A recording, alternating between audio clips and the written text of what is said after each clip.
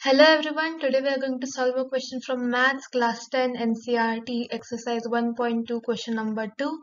So the question is, find the LCM and the HCF of the following pair of integers and verify that the LCM multiplied by the HCF is equal to the product of the two numbers. So we have been given three questions like this to solve.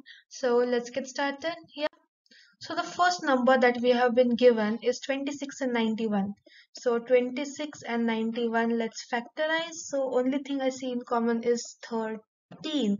13 multiplied by 2 is 26 and 13 multiplied by 7 is 91.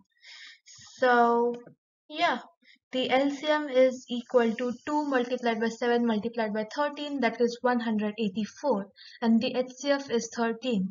So the LCM multiplied by the HCF is 2366 and the product of the two numbers that is 26 multiplied by 91 is 2366 so as we can see the LCM multiplied by the HCF is equal to the product and that's how it should be so moving forward, we have got 510 and 92. So let's factorize this. The common factor is 2, 2 multiplied by 255 and 2 multiplied by 46. So there are no other common factors.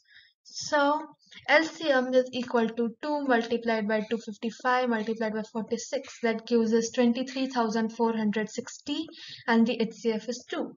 So LCM multiplied by HCF is 46,920 and the product of the two numbers is 510 multiplied by 92 that is also 46,920 so we can see that the LCM multiplied by HCF is equal to the product of the numbers so our last option is 336 multiplied by 54. So first let's do it by 2. 2 multiplied by 168 and 2 multiplied by 27. So we can see there are more common factors that is 3. So 3 multiplied by 56 and 3 multiplied by 9. So as we can see there are no more common factors. So its LCM will be 2 into 3 into 56 into 9 that is 3024 and the HCF is 2 into 3 that is equal to 6.